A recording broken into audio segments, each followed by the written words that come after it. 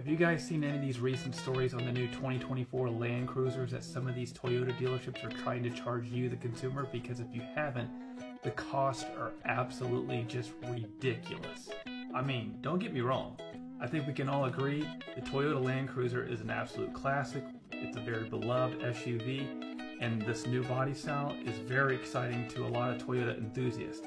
But the prices, what you see on the MSRP on the Toyota website, and what the dealerships are actually charging is highway robbery. So I actually found this article on Carscoops this weekend, and when looking at some of these prices and all of these little add-ons that the dealerships are charging to get you into these nice new Land Cruisers, it's astronomical what they're charging you right now. So with all of the add-ons, one of the dealers actually had a total price out the door for a new 2024 Land Cruiser for $92,000. That is like 30, 40,000 well above what it should be selling for on the market. So this is what really caught my eye when I was reading this article. Look at what one of these Toyota dealerships here in Carlsbad, California, were trying to actually charge people looking at getting into this new Land Cruiser. What really caught my eye was the $3,000 add-on fee for this specialty tent.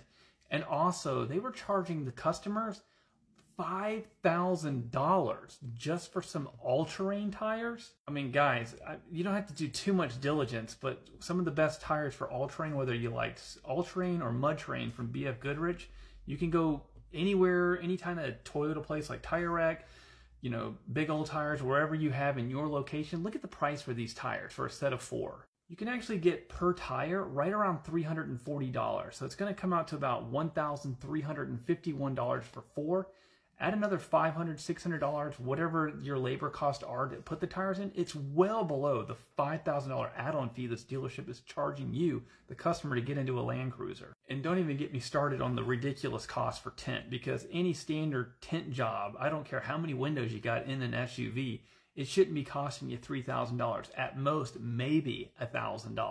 So for many of us out there who are enthusiasts about our brands, whether you like Toyota, Ford, whatever, I think we can all agree that the market adjustments and all of these add-ons, bait and switch, whatever you want to call it, it's getting really tiresome, especially in today's inflation where we just want to pay a fair price for a vehicle. So in closing, next time you show up to the dealership and you're looking for a vehicle and you see the price is advertised and then they start showing you all these add-ons, honestly, I don't care how much you love the car you don't want to put yourself in a negative equity situation and you're overpaying for something that's going to just fall in the next 10, 18 months, however much time it takes before people slowly just aren't as excited about these brand new cars coming out.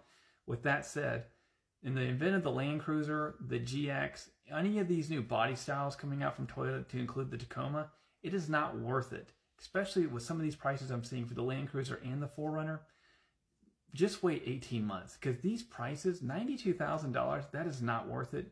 Don't make the mistake of falling in love with it and making a poor emotional decision. With that, I hope you got value in today's video. I will see you guys on the next one.